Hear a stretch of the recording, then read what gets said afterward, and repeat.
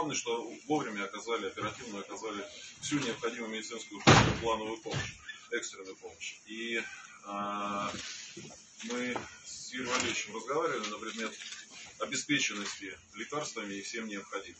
Полностью обеспечены лекарствами по соответствии с диагнозом да, и в соответствии с состоянием. А, поэтому, собственно говоря, можно сейчас немножко успокоиться, посмотреть.